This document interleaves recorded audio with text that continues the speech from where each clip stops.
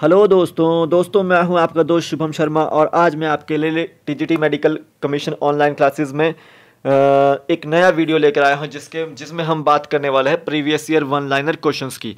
ये one liner questions आपके H P TET H P T G T H P P G T commission 2020 में आने वाले हैं। तो ज़रूर देखिएगा मेरी इस वीडियो को और ये प्रीवियस ईयर में भी आ चुके हैं। ये previous year one liner questions हैं जो हम आज डिस्कस करने वाले हैं। तो ये एच पी टेट और H P T T G T H P P T commission में आते हैं। तो दोस्तों, चलते हैं हमारे आज के बायोलॉजी के एम सी क्यूज़ जो कि one liner M C Qs होंगे। तो चलते हैं दोस्तों हमारे आज के बायोलॉजी एम सी क्यूज़ के ऊपर बायोलॉजी के एम के ऊपर। हम इसमें कम से कम दस एम जो होंगे वन लाइनर उसके बारे में डिस्कस करेंगे, जो आ चुके हैं। जिसके बाद हम इनके ऊपर एम भी नेक्स्ट वीडियो में डिस्कस करेंगे। तो मेरे साथ बने रहिएगा दोस्तों TGT medical commission online classes में। तो चलते हैं दोस्तों हमारे वन लाइनर क्वेश्चंस की ओर।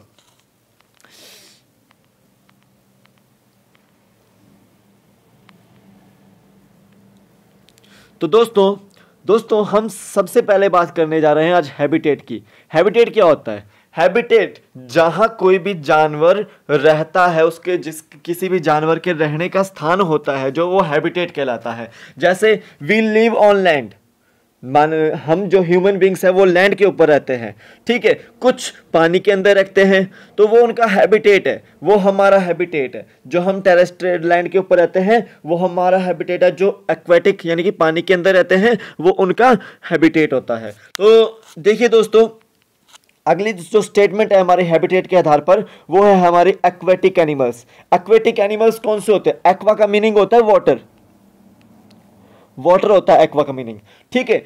अब एक्वा से रिलेटेड समझ लो कि एक्वा एनिमल्स कौन से होंगे? जो एनिमल्स आपके वाटर के अंदर रहेंगे, वो क्या होंगे? आपके एक्वेटिक एनिमल्स होंगे। अब एक्वेटिक एनिमल्स में भी दो तरह के वाटर आते हैं। एक आता है मैरीन वाटर जो मैरीन जिसमें मैरीन मैरीन वाटर यानी कि यानी कि सॉल्टी वाटर समुद्री पानी, जो समुद्र में रहने वाले जानवर होते हैं, जैसे अकाइनोडम्स हो गए या कार्टिलेज फ़िश होगी।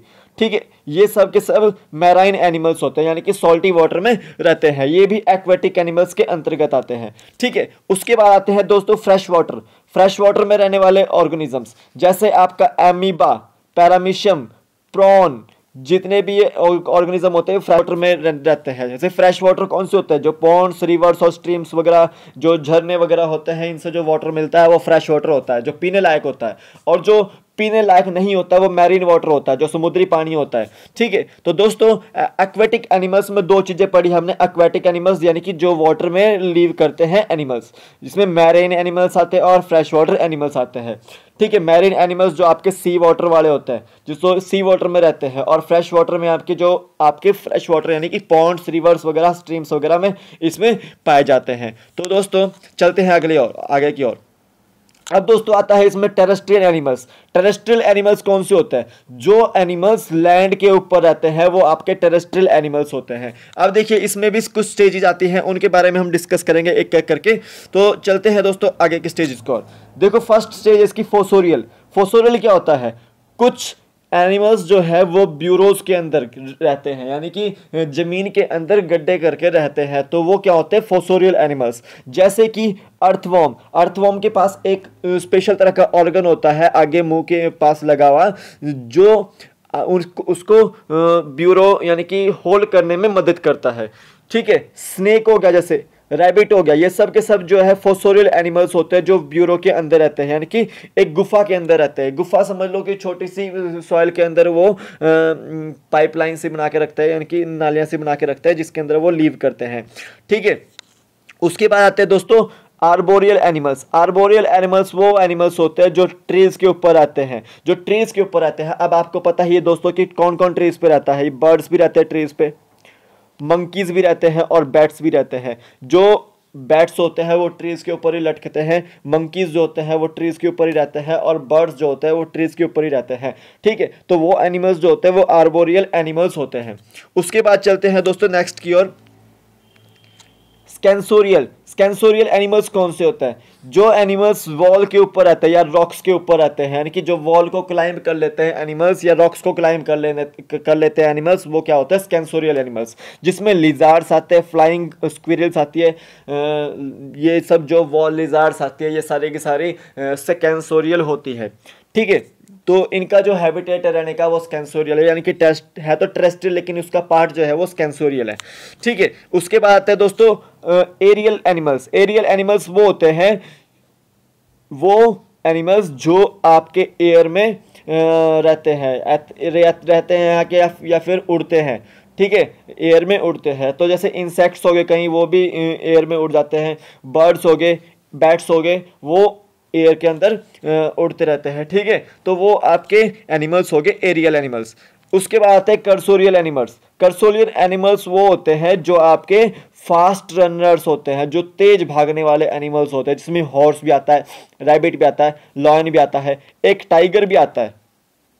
ठीक है? अबाउट फोर हंड्रेड किलोमीटर चल जाता है। शायद ये, जहाँ तक आइडिया इतना एस्टिमेट है मेरा कि इतना ज़्यादा चल जाता है। तो इस चीज़ के बारे में ध्यान दें।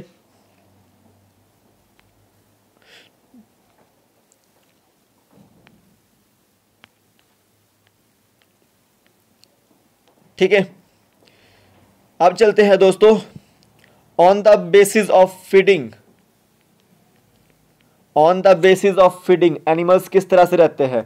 देखो फीडिंग क्या होता है? खाने की क्या क्या खाते हैं एनिमल्स ठीक है उन चर, उन चीज़ों के बारे में करेंगे हम बात। तो फ़र्स्ट है हर्बीवोरस हर्बीवोरस को आपको पता ही है कि हब्स हब्स क्या होता है? ग्रीन लीव्स ठीक है जो ग्रीन लीव्स खाते हैं, वो आपके हर्ब्स होंगे।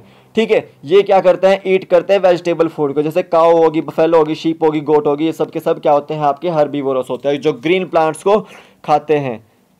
ठीक है?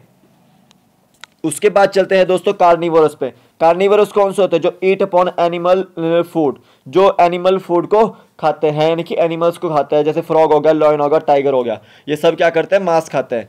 ठीक है, उसके बाद आते हैं ओमनीवरस ओमनीवरस होते हैं जो वेजिटेबल्स भी खाते हैं और एनिमल फ़ूड भी खाते हैं। जैसे कॉकरोच हो गया या ह्यूमन बींग्स हो गए। डॉग्स भी ओमनीवरस में आते हैं। कैट्स भी ओमनीवरस में आती है। ठीक है तो ये दोनों चीज़ें खा लेते हैं। वेजिटेबल्स भी खा लेते हैं और एनिमल फ़ूड भी खा लेते हैं। ठीक है, उसके बाद आते हैं दोस्तों सेंगीवोरस सेंगीवोरस पूछा गया था एक बार टीजीटी मेडिकल कमीशन में।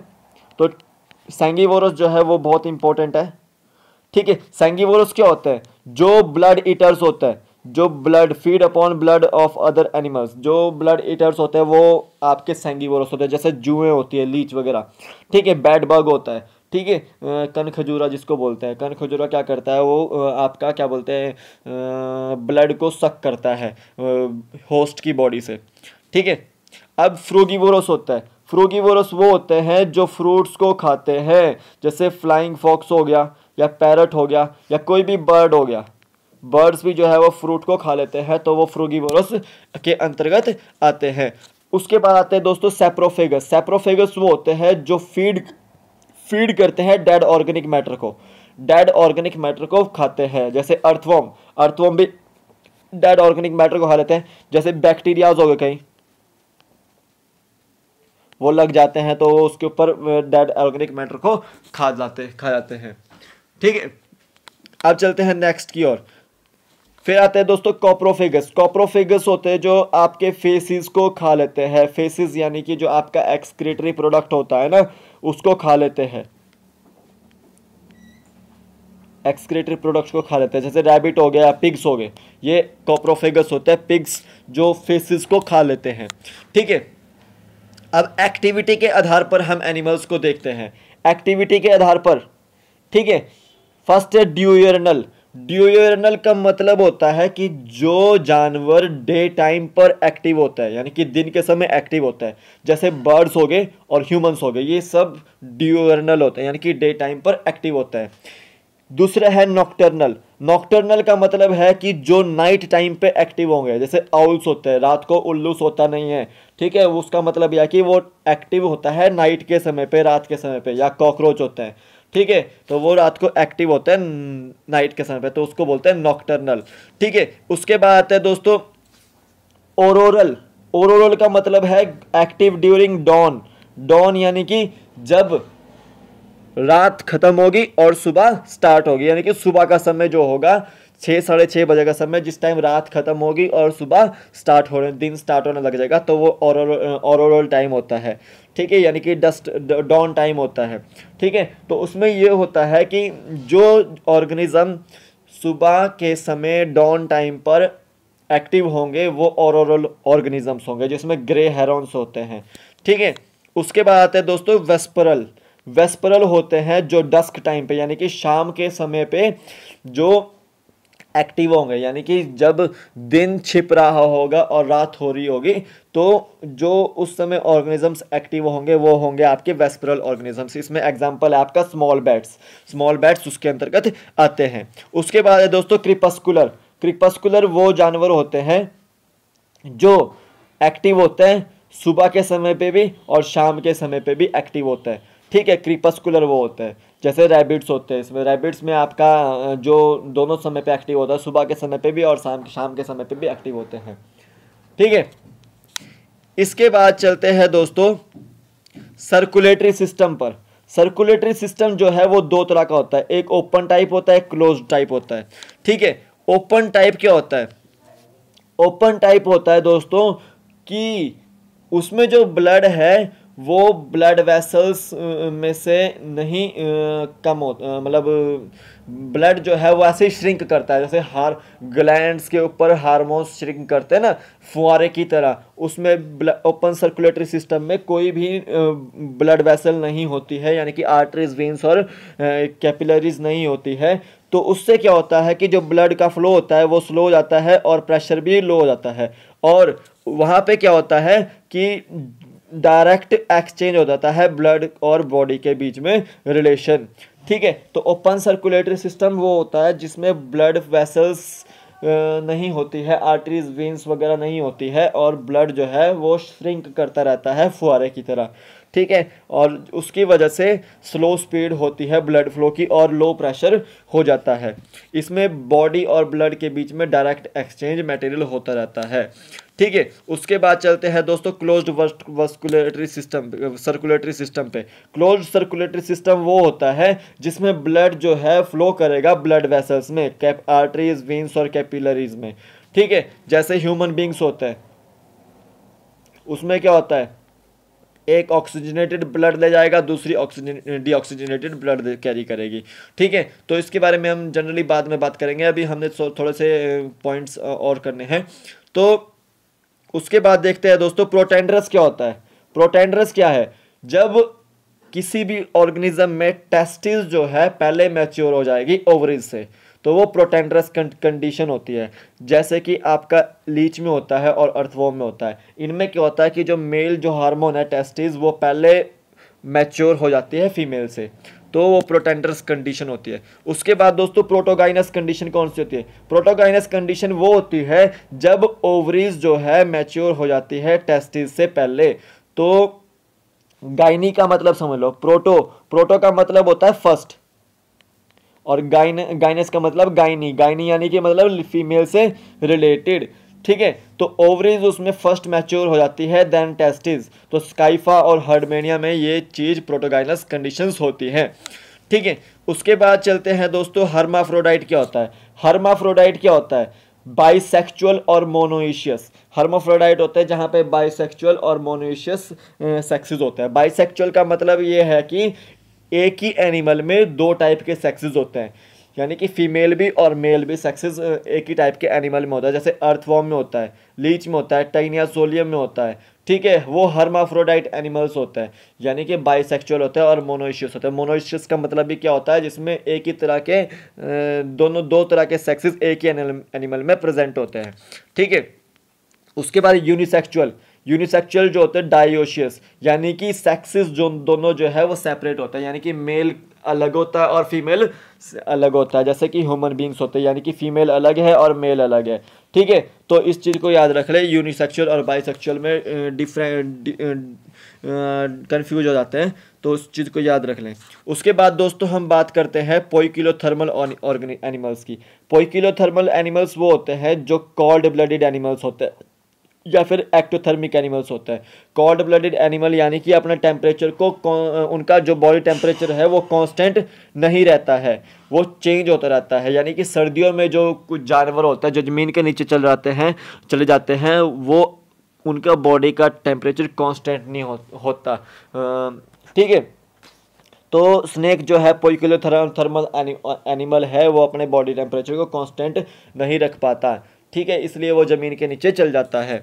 ठीक है विंटर स्लीप करता है, जिसको बोलते हैं हाइबरनेशन उसके बाद दोस्तों होम्योथर्मल होम्योथर्मल वो होता है जो वार्म ब्लडेड एनिमल्स होते हैं एंडोथर्मिक एनिमल्स जो किसी भी टेम्परेचर को टोलरेट कर लेते हैं, या फिर उनका बॉडी टेम्परेचर जो होता है, वो कांस्टेंट होता है। जैसे ह्यूमन बींग्स ह्यूमन बींग्स का 37 डिग्री सेल्सियस टेम्परेचर होता है तो वो होम्योथर्मल होता है। जैसे बर्ड्स हो गए मैमल्स हो गए, ये सब होम्योथर्मल ऑर्गेनिजम्स होते हैं। तो दोस्तों आज मैंने इतना आ, कुछ points pre, previous year one liner questions किए हैं।